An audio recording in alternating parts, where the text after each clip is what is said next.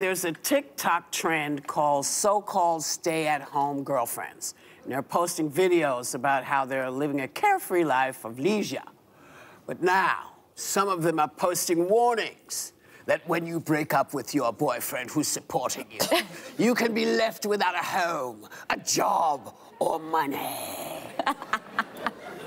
Why did they think this was a good idea in the first place? Oh. That is the question I have for you. it makes no sense. You always need to have your own yep. money as a woman. And by the way, you also need yeah. to have your own interests and aspirations. Um, I being oh really Joy. Joy, where um, do you have to be? Where do you have to not, be, Joy? In a dating. somewhere?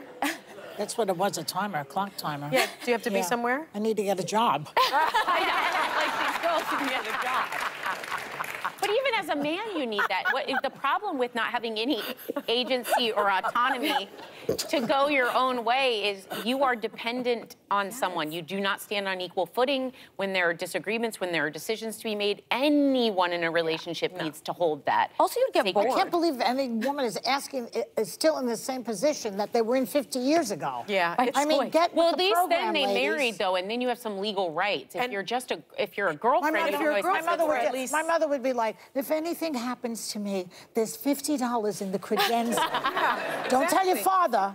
That was what the mentality was in those days. Yeah. And now women are staying home and not get protecting themselves financially. My father I, I, told me never, I'm ever not sure that depend on a man. So. Never. No. I'm not sure that women are, are don't know.